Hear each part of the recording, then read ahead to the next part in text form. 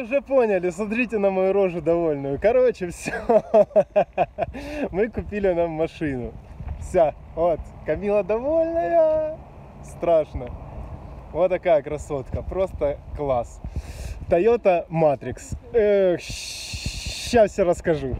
В общем, довольны мы неимоверно. Мы, конечно, на ней еще не ездили совсем, но, ребята, нам спасибо большое Стасу, который нам помогал. Здесь это харьковчанин, мы с ним познакомились. Это одно из первых наших знакомств было. Вот. И он очень прямо советовал все, подсказывал все как надо, шаг за шагом. И сказал нам, мне позвонил WhatsApp, поэтому видео прервалось предыдущее. Так вот, про Стаса. Он сказал буквально следующее пару дней назад. Типа, вы не спешите, вы не беспокойтесь, все нормально, свою машину вы найдете. Ну и, по-моему, мы ее уже нашли. Первый раз на своей машине.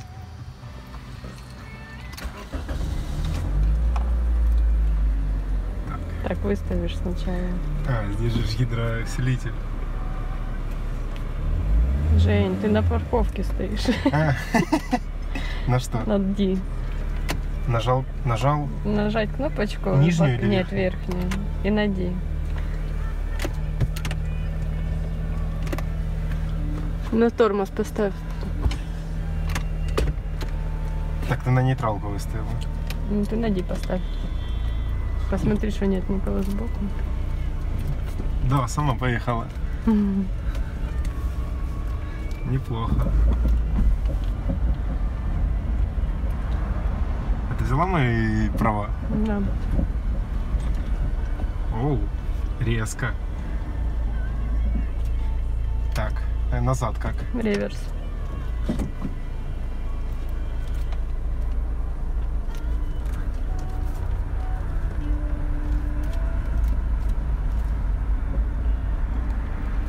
Где мне развернуться? Да, вот туда надо было же заехать и развернуться. Ну теперь туда к ним заезжай. Давай, крути. Уже крутить? Да. Крути, крути, крути сильнее. Сильнее, сильнее. О. Выравнивай, выравнивай, выравнивай, выравнивай. Теперь можно. Нормально, да.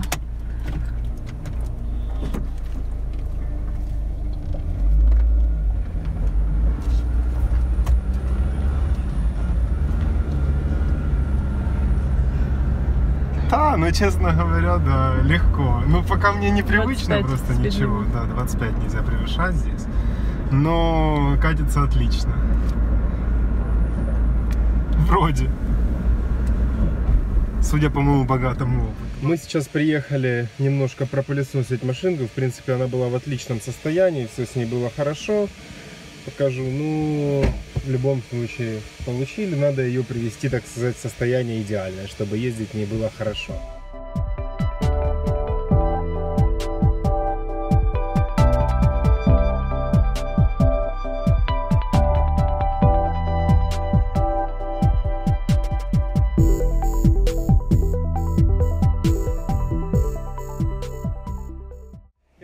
Пропылесосили, два раза пришлось загрузить по 75 центов, доллар 50, но зато теперь все чистенько, хорошо, отлично. Единственное, что э, видите, какая погода сейчас. Там вон кто-то, конечно, смелый моет машину. Вот, ну, я не знаю.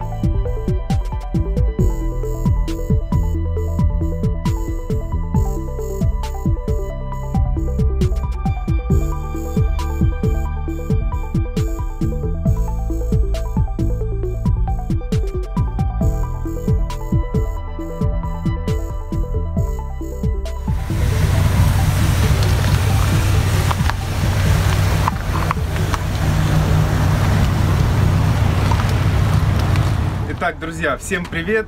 Как и обещали, добрались до того, чтобы показать вам, поделиться с вами нашей покупкой. Ни на какую объективность я не претендую, ничего сверх какого-то нового я не скажу. Я расскажу исключительно то, с чем столкнулись мы. Никогда у меня до этого машины не было, у Камилы тоже не было машины своей собственной нашей. Ну вот, и поэтому первый раз мы покупали, ничего по специфике, по каким-то спецификациям машины, я в них не разбираюсь, ничего не расскажу. Из того, что только прочитал в интернете, смогу с вами поделиться. Собирались купить машину в первый месяц, но в первый месяц как-то мы жили в таком месте, где машина нам не понадобилась. Вот, когда мы в то место, где с транспортом похуже, то сразу стало слишком тяжело, и мы решили, что машина нужна. Э, единственное к ней требование было с самого начала, еще до переезда нашего, это чтобы машина ездила. Мы себе поставили условия, чтобы не обращать внимания на ее внешний вид. То есть, э, если побитая где-то, если там старая, если помятая после аварии, там, ну, ездит, э, какая модель, хэтчбэк или седан. Нас это мало волновало, мы понимали, что у нас был ограниченный бюджет, мы вставили бюджет себе до 2000 долларов, чтобы машина обошлась. И когда я просматривал Craigslist, находясь еще в Украине, я понимал, что примерно что-то такое непонятное за эти деньги можно взять. Но ездить оно будет, и каких-то постоянных ремонтов, обслуживания оно в первое время, по крайней мере, требовать не будет, а значит нам годится. Вот.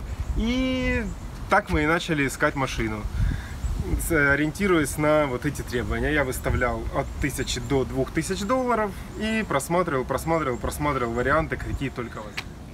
Скажу сразу, тот вариант, который мы в итоге купили, превзошел просто все наши ожидания, потому что мы вообще даже близко не рассчитывали, что будет такого плана у нас машина.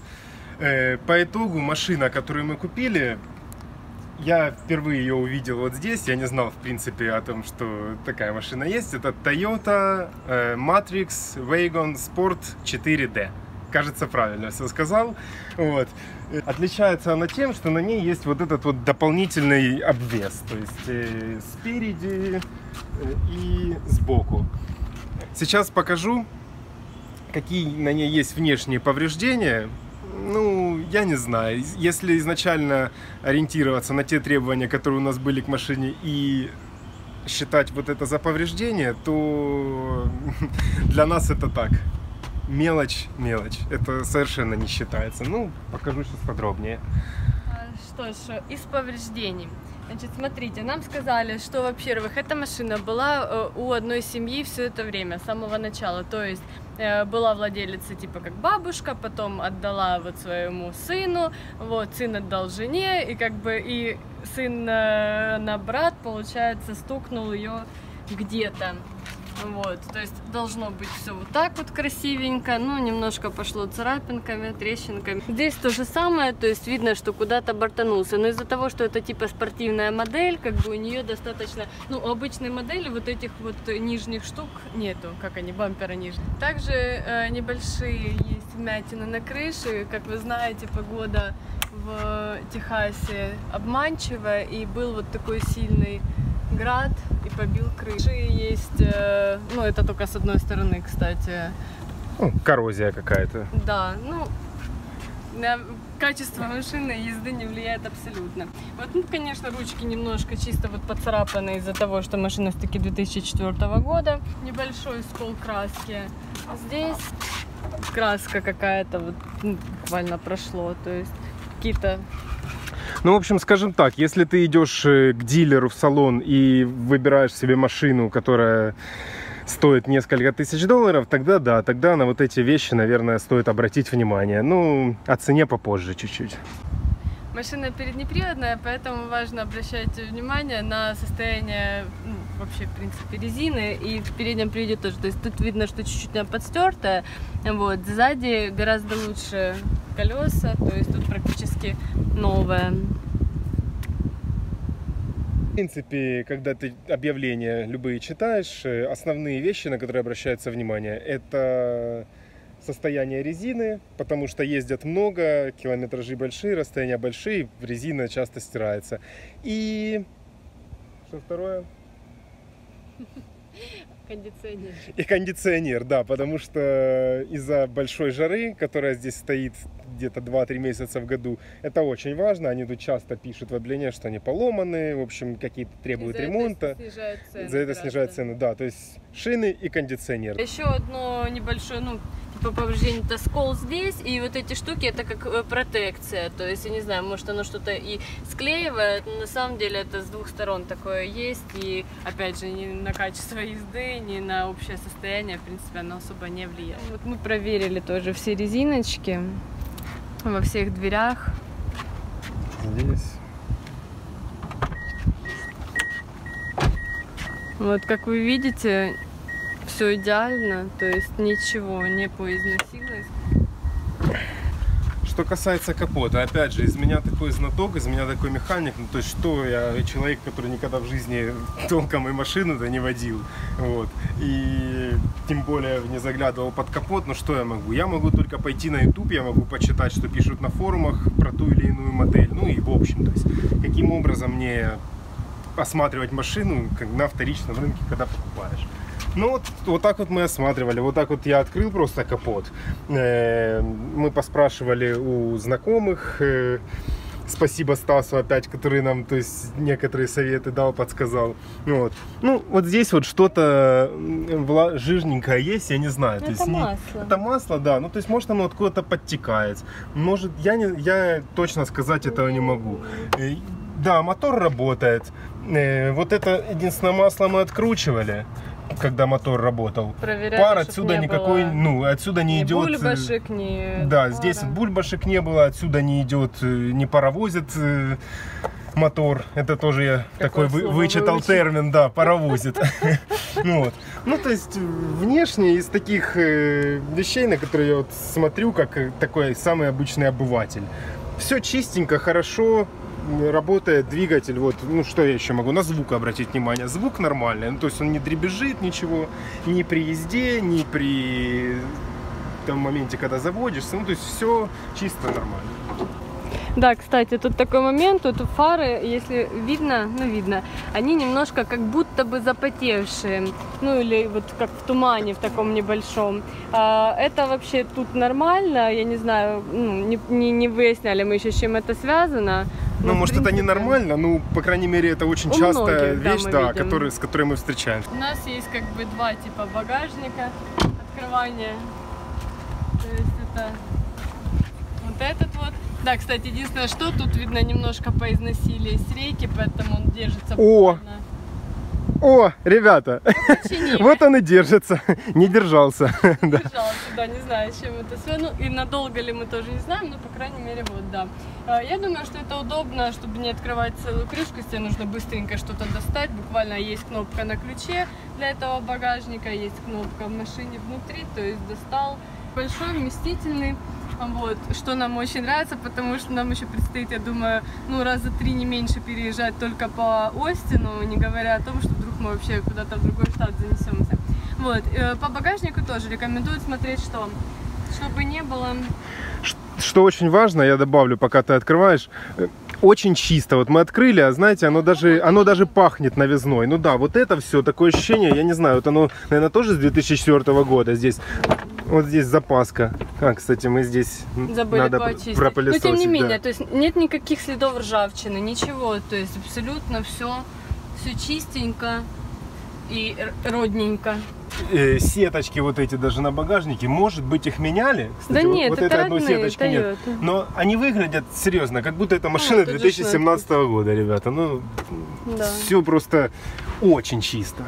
Ну, то есть, э, о чем я говорил в начале, о чем я, может быть, отдельно еще расскажу. Э, на что смотреть при покупке машины? Еще смотрите на хозяев. Потому что... Да. э, ладно, я потом Давай об этом потом отдельно расскажем. расскажу. Да. Да. Также тут э, есть дополнительные да, кнопочки, то есть автоматические открывание, закрывание окон на все четыре двери, э, блокировка. В смысле автоматическая? Ну, в смысле, нажимаешь, а не ручка, не механическая. Да, электронная. Да? Есть, кстати, тут даже круиз-контроль. Ага. Вот. Ну, хозяйка предыдущая сказала, что она не пользовалась, поэтому, может, мы тоже не будем пользоваться. Кстати, у нас есть люк. Да, у нас есть люк. Вот такой он. Это очень клевый бонус. И Можно вот так его открывать, На то есть на проветривание, а можно его открывать вот так. Автоматическая коробка передач, и постоянно, то есть нужно остановился, остановился куча стопов, э, ну, вот круговых развязок, то есть и на механическую коробку как бы я не любила, но здесь ее очень иррационально Ну, брать. Я бы добавил еще, что даже дело не в куче стопов э, раз- и развязок, а дело в том, что здесь постоянные пробки. На, даже на шоссе, да. И постоянно находясь в пробке, на ручной коробке, короче, ну это просто очень быстро надоест. Также Это тут такое. хорошая очень акустическая система, ну как хорошая, то есть она-то старенькая, вот, ну навалить звук можно. Ну как, она старенькая. Я смотрел просто стандартную комплектацию, которая идет в Да, этой машине. полностью. И да, она полностью, ну, наверное, все знают, в принципе, как, какая плюс-минус по умолчанию есть акустическая система. В общем, здесь э, установлена новая. Э, Розеточки. э, Здесь, ну, естественно, прикуриватель. И вот розеточка есть. И, и здесь, кстати, вот, руководство оригинальное. Все Да, четко с э, документами. э, Хозяева э, вроде бы как тоже вели учет э, ремонта, ну, по крайней мере, у нас есть такое какие-то бумажки, вот без которых не пройдешь, если у тебя плохо машина ездит, то есть ты не пройдешь э, техосмотр Вот техосмотр у нас пройден, что тоже очень классно, до второго... 2 февраля. Ой, до, февраля. до 2 месяца 2019 года. Когда они продавали машину, они сказали, что у них последний осмотр был, вот получается, ну, в марте, наверное, 2018 года. И с того момента они проехали только 500 миль. Предыдущий техосмотр, который был сделан в 2017 году, было проез- и проехано 5000 миль, по-моему, всего лишь. То есть за, за два года на машине проехали 5000 миль. Вот это единственное, кстати, тоже нету пластмассочки. Ну, заклепки. да, некоторые вещи мы даже при осмотре сразу не заметили, потому что, ну, действительно смотрели, нас интересовало немножко не то. Мы смотрели на то, чтобы машина хорошо ездила. Вот. Все ремни безопасности, все, да, в общем-то, ремни на- работает, месте, ну, ездит. есть ди- Тут есть э, по- подстаканничек Вот для такой вот пассажиров, что очень-то удобно. вот. Э, Коврики все, все оригинально. Ну я же говорю, ну не было у меня никогда машины, я вообще ни хера не понимаю. Даже как вытащить сидушку. И вот, пожалуйста, машина реально превращается просто в самолет. Сюда я не знаю, что здесь можно возить. Здесь машина просто гигантская. С ее-то размерами. Вставляй назад.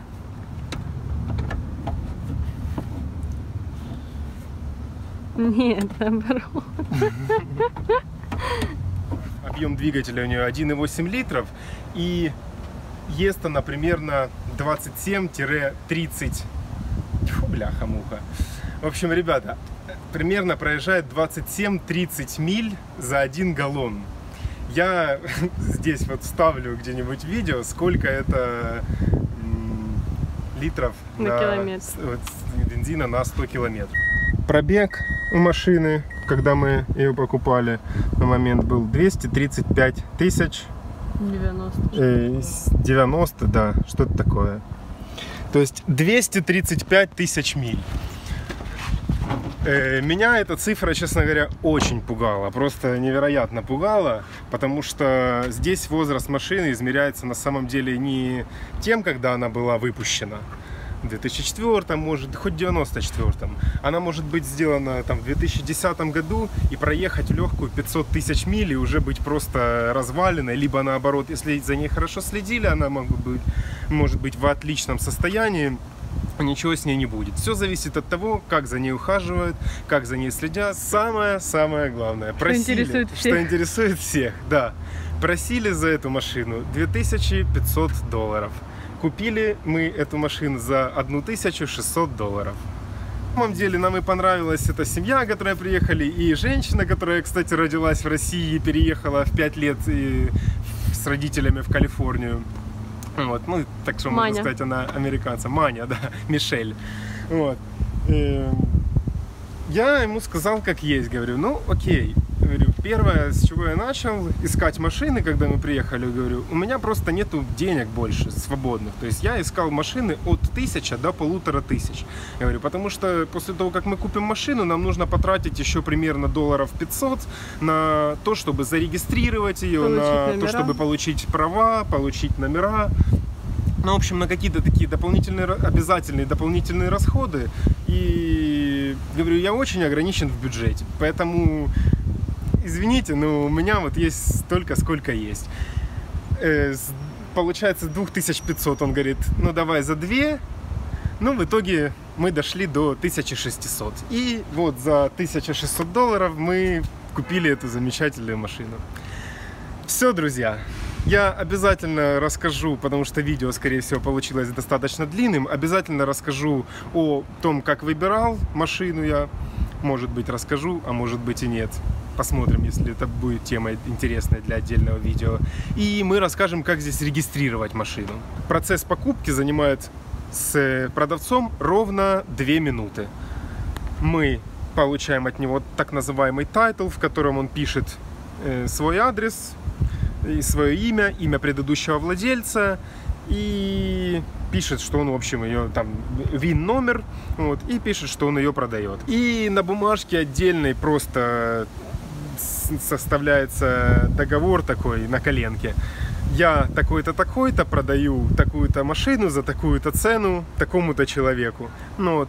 И все. Оба человека ставят подпись. И все, этой бумажки достаточно для того, чтобы пойти и машину регистрировать. Мы довольно страшно. Ну, вроде все. Да, все, друзья, Подписывайтесь. подписывайтесь. Ставьте лайки. Да, Если... Приятно, комментируйте. комментируйте, спрашивайте, что вам интересно. Всем пока. Пока.